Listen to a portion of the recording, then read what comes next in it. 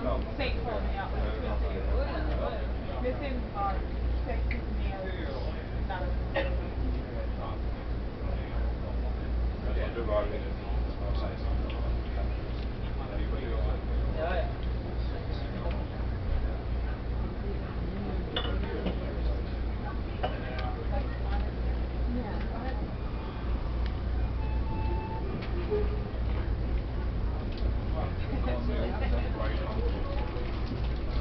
Ei,